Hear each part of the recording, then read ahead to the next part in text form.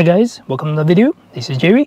In this video, I'll show you all you need to know about the phone projection for Apple CarPlay on the Kia vehicles. This applies to all the modern Kia vehicles, um, uh, either near new or future Kia vehicles, basically. Uh, if you're looking to purchase a Kia vehicle in Auckland, New Zealand, please contact us at Ebit or contact me directly, Jerry at ebit.co.nz. Uh, if you, you find this helpful, please make sure to subscribe and like the video down below. That would be really helpful for the channel to grow let's get into it. And by the way, I'll leave all the timestamps down below for different process, different settings, all that things. If you wish to skip forward, feel free to click the timestamps down below on YouTube. Uh, so what we need to do for preparation, we're gonna have a Kia car, obviously. We're gonna need those uh, genuine cable, recommended or at least approved cable for your uh, for your iPhone. Uh, in this instance, on the only middle one, the USB with the USB sign rating will support the Apple CarPlay. If you're going through other devices, uh, going through other USB points, they will only charge. By the way, uh, we're gonna need the iPhone, obviously. So recommended a, new iPhone for Apple CarPlay. If you are using a, a very old iPhone, they may not be available, and on the newer generation as well. By the way, so click the settings. We are also need, we would also need to make sure your Siri and search is enabled. Uh, if you, it's not enabled, make sure at least allow the second one, press side button or press home button for Siri is enabled just over there. So this is the preparation process. Next process, I'll simply need to connect the, the Apple CarPlay um, iPhone with dual cable. So plug it in, just like that. Now unlock the phone for us. Uh, sorry, it's unlocked. On your Kia vehicles, if it's not been connected before, it will give you this notification. We'll need to click next. Uh, make sure you're okay with that. Click OK. There's uh, some terms and conditions. And then you will notice a notification on your phone. Do you want Kia to to connect with, with your phone is locked. Uh, so that means even if your phone is locked but it's plugged in, it's going to use the Apple CarPlay function. This is totally up to you. You can do now, now or allow. In this instance, I will allow because I can use this phone as a private phone. So this is how the screen looks like with the Apple CarPlay screen. You can swipe left and right. So that will just like your regular smartphone screen. And all these icons are the ones that supports Apple CarPlay on your phone at the moment, either Maps, Messages, and Spotify Zoom. You may have more icons than me than I do, or you may have less apps than I do. So this is what apps that supports Apple CarPlay at the moment. You can press this button to follow home button. You can swipe left and right whenever you like.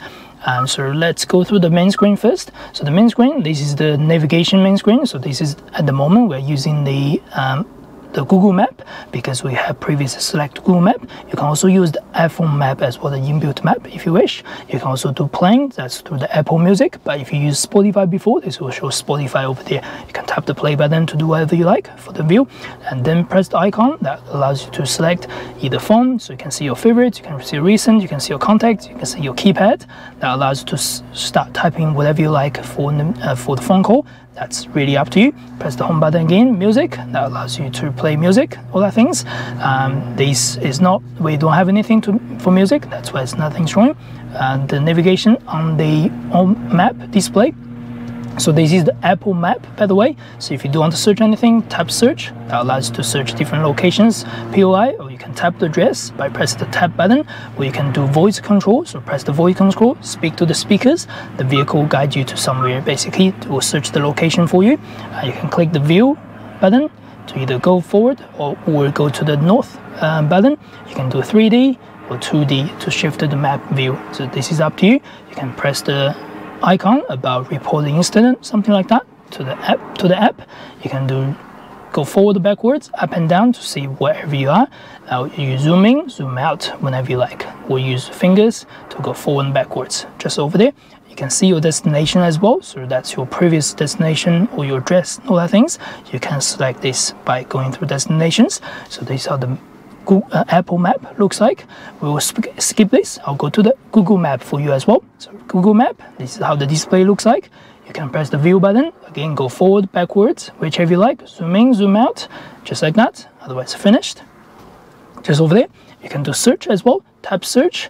That allows you to search either recent address, work if you have saved something, gas stations or nearby stations just over there. You can also type the address two ways. One is to type. You can type 257 King Street, just over there to finish. Or you can do voice control, so press that.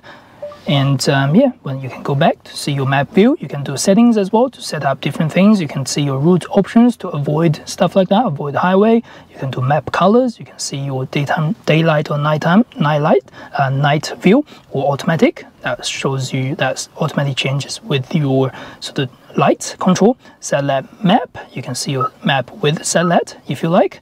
Otherwise press that. You can disengage the satellite map. Just over there you can see the traffic. You can see the north up you can change the volume of the volume control. So once you press the volume you will need to use these buttons left up and down or these buttons on the left which have the vehicle you're driving so different locations maybe to change your volume on navigation guidance. This is totally up to you. Otherwise press home.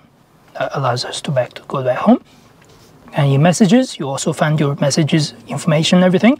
And this won't read this won't display message everything but if someone sends a message it's going to show them either their name if you saved in your contacts or their number you press the tap the number or tap the name, it will, it will give you, it will read out the message for you and ask you, do you, would you wish to reply? This is up to you to see if you want to use it. You can also tap right, um, but you can only use this to voice command, by the way, because the vehicle does not allow you to type once the vehicle is on, in Apple CarPlay, since it's not safe to do so. So you have to do a voice command to type anything.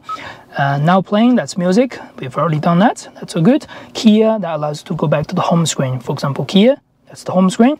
Once we are get once we are back to home screen, you can see the Apple CarPlay icon pops up. Press the Apple CarPlay. We're back to where we are.